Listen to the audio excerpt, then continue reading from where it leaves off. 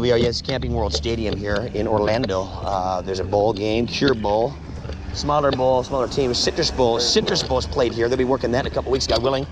Uh, first time it's been worked by anybody that's served with us here, and so we're thankful to be here again and uh, plow this thing for a thorough gospel invasion today. Hallelujah. Yes, the only cure we got to be concerned about today. This is a cure bowl. We're going to talk about the cure for sin. You can cure from sin. That's the cure that's the focal point of the message today. And that's the central focus of the gospel message for the believer in Christ to be cured, to be healed of his fatal disease, moral disease of sin, to have the heart of stone taken out of the flesh and the heart of flesh put in. May you be cured from your corruption through faith alone in Jesus Christ, the eternal Son of God, the only one who could save. There's a way that seems right to many, but the end thereof are the ways of death. And make sure, have you made sure that your sins are cured, that, you, that God has given you a new heart, that you've come to Christ for the washing of regeneration, the renewing, renewing of the Holy Ghost, that God has washed you from all your filthiness and all your idols. Has that happened to you, right? A miracle of salvation, God making you alive in the Spirit. So we're born dead in sins, the trespasses. We commit crimes against the holy God. Those are those are sins on our account, legally uh, to be judged for by God. And so you need to be cured of that continual nature and, condition. Only Jesus can do that. God commands you to repent and come to Christ today. I tell you, to know Him is eternal life. Many here today are not living for God. They're not saved. They're still living in sin and unrighteousness. And God is commanding all people everywhere to repent to turn from their evil ways today, to humble themselves.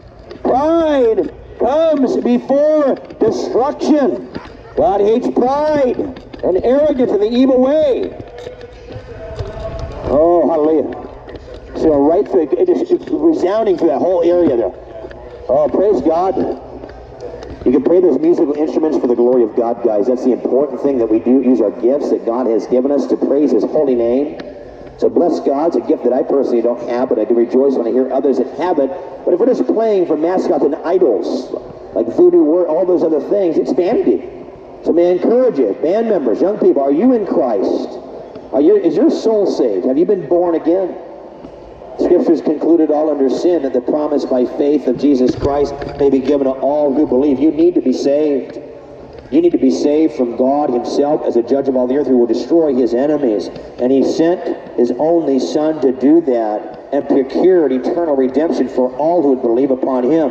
The question for you is, have you come to a saving belief? Or are you just a professor of God with your mouth, your heart far from God. You're doing religious works, thinking that you're okay because you're comfortable and somebody declared you saved at some point because you've gone to some religious assembly or gathering and you feel like you're right. Well, the heart is deceitful above all things and desperately wicked. Who can know it? I, the Lord, search the heart. I test the mind even to give every man according to his ways, according to the fruit of his doings. We're unclean, but in Christ only in Jesus Christ can you be made clean, washed in the blood of the Lamb, the Lamb of God who takes away the sin of the world. He suffered once for sins, the just for the unjust to bring us to God. He sat down at the right hand of God. He rules the universe, and he's coming again to destroy the ungodly and the nations of the world and rule in his millennial kingdom and forevermore. He's on the throne now, governing all the affairs of men, sovereign, powerful over all the events that happen upon the earth raising up nations and pulling them down, setting up kings and pulling them down. All the nations are a drop in the bucket to God. So we know that all things that work together after the counsel of his own will, it'll bring all things to pass according to his eternal purposes and decrees. Praise his holy name. Give glory to God today, folks. Repent. Turn to the Lord Jesus Christ before you perish. Are you in Christ? Oh, praise God, young lady. Yes, we're going to look into the, the grafted word able to save our souls, a perfect law of liberty. If I were you today, I'd go look into 1 John in the back of the Bible before the book of Revelation. 1 John is five chapters, very self-examining, wonderful thing to see. Uh, if you're a child of God or a child of the devil, oh, hallelujah. Many people they think they're okay with God, not realizing that they're actually under the wrath of God, that they are alienated from God. Enemies in their minds by wicked works, right? There's many that think that they're okay. And that's a great deception. So it's a delusion that even God sends. He says he'll send in the last days for those who have pleasure in wickedness and believe not the truth. But making sure you're not in a delusion today, which would be examining yourself. Are you abiding in the Word of God? If you say you believe in Jesus Christ, He says, if you are my, if you abide in my Word, you are my disciples indeed. You shall know the truth. The truth shall make you free. He who the Son makes free is free indeed, and He sets the captives free from the power of sin and Satan. They can walk in the Spirit and live a life of glory and virtue on the earth for God and not for men to praise God. Now, where are you at with the God in the Bible? You might have been raised in church and seen people singing hymns and songs and dancing and all that kind of stuff. But there was no, it was a form of godliness denying the power thereof. There's no power in your life over the habitual sin that you loved. And you're still falling into sexual immorality and drug use and drunkenness and uh, idol worship, whether it be a person, place, or thing, or TV program, filthy music. You might have these things continually going on in your life. But friend, let me remind you again, that's a work of the flesh. If you practice those things, you're not going to inherit the kingdom of God. And in this, the children of God, the children of the devil are manifest. Whoever does not practice righteousness is not of God. So how do we find out what those are? What the righteousness of God is in his word. Uh, sola scriptura means the word of God alone. It's scripture. All scripture has been given by inspiration of God, is profitable for doctrine and for reproof and for correction, for training in righteousness, that the man of God may be thoroughly equipped, complete and thoroughly equipped for every good work. So the scriptures, right? Uh, we, all we need is the scriptures to show us our hearts, to examine our lives, to whether we are truly serving the one true God. Scripture alone. So look into the perfect law of liberty today. Are you right with you? Are you good to see you. Make sure you're spending can read that in your break, okay? Jesus said you must be born again. That's what that means. Born again is when you're born of the nature of God. And God does not contradict himself, right? So if you're born of the nature of God, you should bring the fruit of the Holy Spirit, who is God, love, joy, peace, long-suffering, kindness, goodness, uh, gentleness, faithfulness, self-control. Against such there's no law. So we have those fruits in our lives, spiritual fruit, that's going to reflect that God dwells in you, in this tabernacle you live in, this tent, this body, is a dwelling place of God the Spirit, not a habitation of devils like it used to be. They let the spirits of the power of the air run you. So many people in the world are so deceived, they still think they're fine that God loves them in some superficial way, of some tolerant way of, of filthiness. And God hates all workers of iniquity, the Bible says. The Lord abhors the bloodthirsty and deceitful man. The Lord hates wickedness. He loves righteousness. Anything not in conformity to his holy nature, he abhors. And God has every a righteous, holy hatred, unlike you and I that are in our ways were perverse tainted with sin. So look into the Word again today. Make sure you truly are right with God and not really serving the devil. Praise His holy name. Turn to the Savior today. Turn to the Savior today. Repent your course. Since time is running out, every day you live on this earth, you're getting closer to the day you meet your Creator and give an account to Him. Give an account to an eternal God who doesn't know sin, who hates sin, who's angry every day with sin. He's angry with the wicked every day, the Scripture says. Question is, are you living a life for Him? Are you living a holy life? The Bible says, without holiness no man shall see the Lord. Taking part with this world, the Bible says you can't serve. God and mammon. You can't serve God and money. He can't serve the world. Love not the world, neither the things that are in the world. If any man loves the world, the love of the Father is not in him. If any man loves the world, Today, 7 a.m. I will lift your skirts over your face and show the nations your nakedness and the kingdoms your shame. I will cast abominable filth upon you and make you vile. I'll make you a spectacle, a gazing stock. That's what's happening is cast abominable filth upon this country.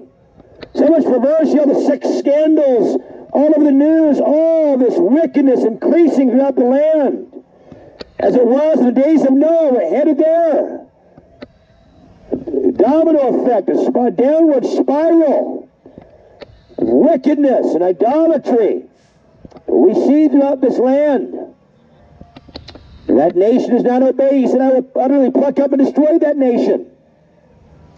Even Russia has more morals than the USA. They forbid sodomite marriage.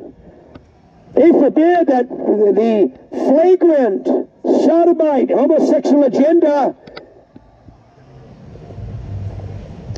in Russia, other nations. Why are we so perverse? Why have we gone a whoring from under our God? You need to repent. Be reconciled to a holy God.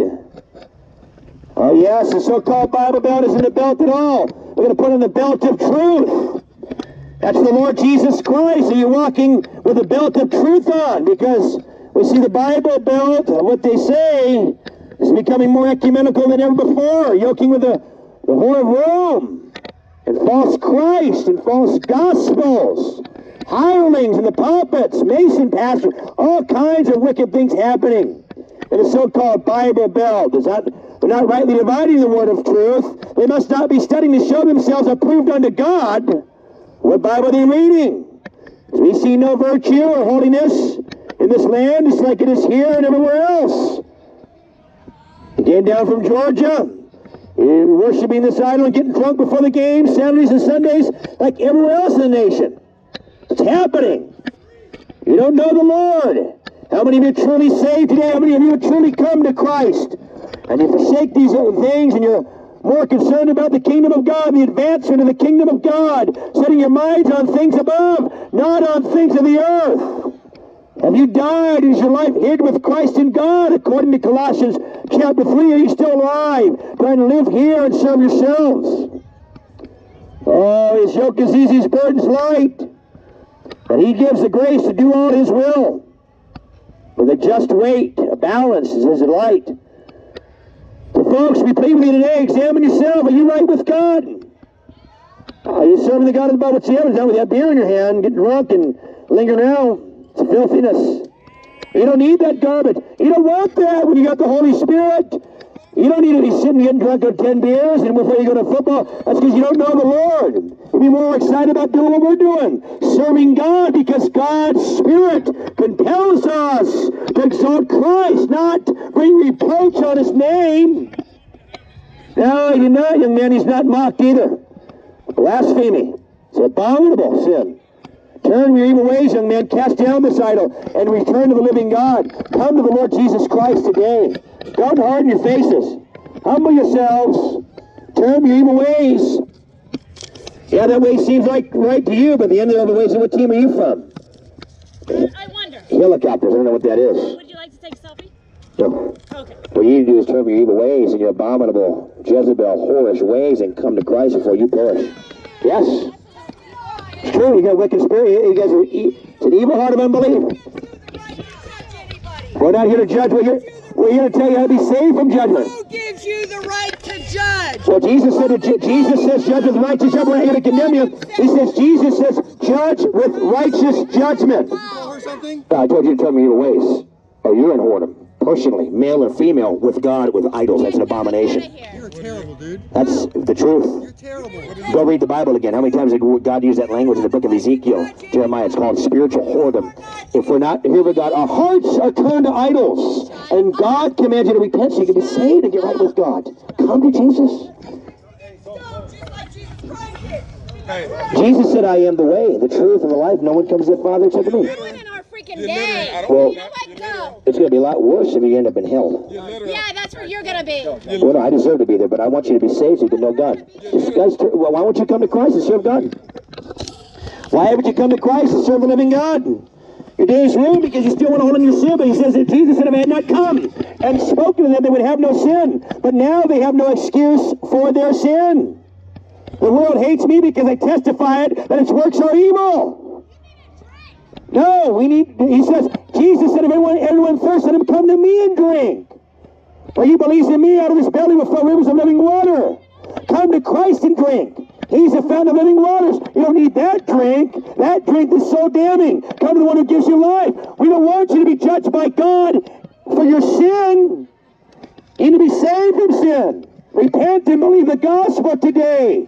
Jesus is your only hope. Be reconciled to God. At that time will say, Depart me, I never knew you, ye workers of iniquity. It's a very serious, very sobering passage of Scripture in Matthew chapter 7, verses 21 through 23. We know that many have gone to church or some religious assembly in their lives. We know that many here today believe they believe in God. And so the mercy of God and the grace of God be poured out here today would call you to examine your self-examination to see where you're really at. We've had you know an idol of, of football all season on Saturdays and Sundays, which is what we live for. here in America, we have forsaken the God of Scripture. We're not passionate about God. We're passionate about animals and mascots over God. That seems to be the common epidemic of the land. And as we continue in those ways, we heap up greater condemnation. All this idolatry, God is sending strong delusion upon us before the second coming of Christ. Before the second coming of Christ, we're going to see an increase of violence, a great deception. The days of Noah were in that manner. The Days of Lot, uh, the people were eating and drinking. Didn't seem like a reality. It didn't seem like it was going to come as destruction from the Almighty. They didn't believe. They hardened their hearts. They mocked. They blasphemed. They laughed Noah to scorn. Lot went out without a warning. And this nation has a, a much warning to return to the Lord their God. Personally, you may have had many warnings in your life, your conscience pricking you, convicting you of sin. That the gospel is the answer, the gospel of your salvation, where the Holy God sent his own Son in the likeness of sinful flesh, and on account of sin condemned sin in the flesh, to fulfill his righteous requirements of his holy laws, the legal demands of God, and to be satisfied the wrath of God and to be pacified. And it was all done in the Son of God, the Lord Jesus Christ, when he was crucified on the cross. An eternal God bore in a few hours what one is going to bear for an eternity in hell if they die in their sins. And so your call today is to repent and believe in the gospel. Have you surrendered to the Lordship of Jesus Christ? He is your King. He is your God. There is no other God besides Him. For of him and to him and through him are all things, to whom belong the glory forever and ever. It is in him that there is life. This life is the light of men. It is in him that there is eternal redemption from the curse of sin and the law. He became a curse for all who believe upon him on the cross. He bore the curses of disobedience in his own body. He bore sin itself of all of his people in his own body on the cross that we would die to sin and live for righteousness. There's nothing else you can do to add to this work. There's nothing you have in and of yourselves to make yourself worthy of God. And it's in Christ and Him alone.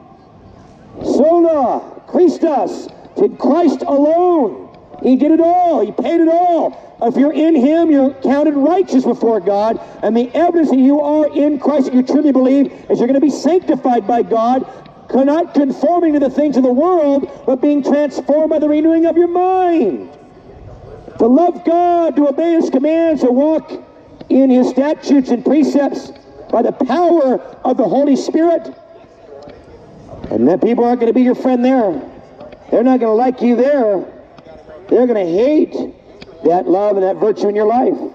It's the blood of Jesus Christ that will cleanse the conscience from dead works to serve the living and true God. Folks, the Lord is known by the judgment that he executes. The second coming of Jesus Christ is a day of devastation, a day of destruction from the Almighty. It's a day of devastation. So we see now we're headed towards the return of God, return of Christ. And the scripture declares that as a horrifying day. It's going to be great judgments upon the earth beyond description and beyond comprehension. And men in Revelation 16 still don't repent after great plagues of hail and uh, stings of, of devils. You can read the accounts. They're going to harden their hearts like never before. God says it. He's ordained it. But there's an elect that's going to be saved in that time. Are you saved today? Have you been born of the Spirit of God? Oh, hallelujah. As many as are led by the Spirit of God, these take one to read. You got time to read it there. Many people are going to go to church tomorrow that aren't really saved. That's the thing. Go to church every Sunday and end up in hell. How's your relationship with the Lord Jesus? Hallelujah. Praise God. Oh, glory to God, guys. Let's go State. Can I get a let's go State? I'll take that. Let's go State. We could go. Let's. It was an, the only going we got to do is going to Jesus. Now you're going to join. If you're born again, there's no. You're not like condemned for going to a sporting event. But a lot of people make this their god. That's one major epidemic in this country. We know that.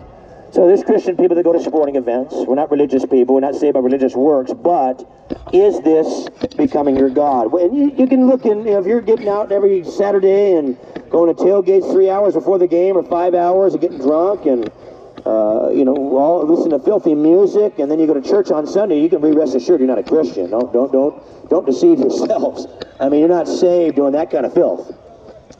You can't be spending all your energy and, and money and time on worldly events and be saved. But we're not here to tell you you can't do certain things. There's liberty in Christ, but you know, you seek the Lord in those things. Romans 14 makes that clear. The one uh, Esteems one day above another, another esteems every day alike. Let each one be convinced in his own mind, but the scripture gives a guideline there to make decisions based on the word and help us, oh God. We are weak and frail. Are you born again? As sure as you are today that you have a ticket to get in this in this football game, are you that sure about the salvation of your soul? If you died right now, where would you go? Are you 100% sure?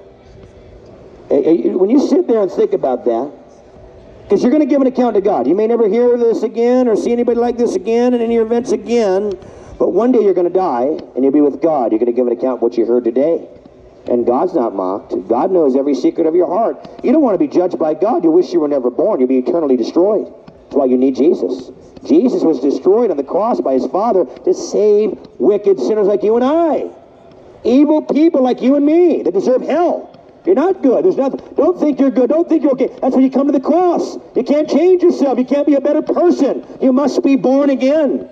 Find out what the new birth is all about. Spend your life looking into those doctrines. That'll be freedom. That'll be peace. That'll be joy when you come to that saving knowledge if you haven't already. God commands you to do it.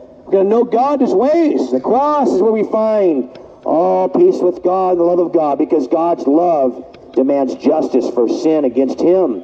And He will not violate that. And we see the love of God demonstrated through the cross of His Son when the Lord Jesus Christ bore that holy hatred and wrath for all who believe upon Him. Believe on the Lord Jesus Christ. He's going to come to Christ. If your parents want to go to hell, let them go. You come to Jesus. If your mom and dad want to go to hell, let them go to hell. You kids want you, Jesus said, let the little children come to me, for of such is the kingdom of God. If your parents don't want Christ, they don't want heaven, let you go without them. You're not going to be there to plead your case before God when you die. No one's going to tell God what a great son or daughter or grandparent or mom and dad you were. It'll be your own account to God, your own sin. Don't let anybody else deter you from the God of the Bible. Come to your King. Repent towards God. You got to get right now. Don't listen to these fraudulent pastors that are spiritual prostitutes on Sundays lying to you about God like T.D. Jakes and Joel Osteen and all those false spiritual whores. That's all they are. And they're going to burn in the devil's hell. All those Nigerian pastors, that spirit of Nigeria about money. T.B. Joshua and all those false prophets, those guys are from Satan. And they hate God and God hates them. They're liars. They're sexually immoral. They pervert the gospel for money. They're not of God. Has anybody told you that before? Or they want to tell you what you want to hear? You like those TV preachers? They're from hell. And they're not preaching the biblical Christ. Not telling you about repentance in the life and the virtue, the merits of Christ, and He finished the work alone, and He doesn't need any of your money. He makes you a new creature that wants to give and do things because God has changed the nature to give you new desires in accordance with His Word. You're playing with fire, folks. Cast down, you got to look into the Word. Oh, friend, be not deceived in this wicked and adulterous generation. The day of the Lord is coming. It's burning like an oven when all the proud, yes, all who do wickedly will be stubble.